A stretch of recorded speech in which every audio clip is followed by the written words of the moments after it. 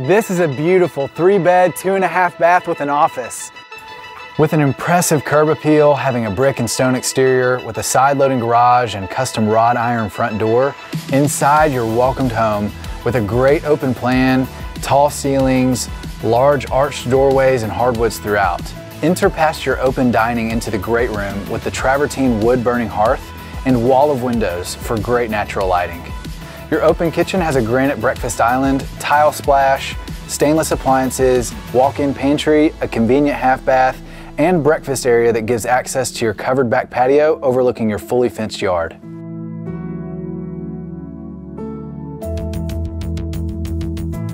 Your box ceiling master is private with views to the backyard, a tall granite, his and her vanity, jetted tub, walk-in seated shower, and walk-in closet that flows nicely into the laundry room.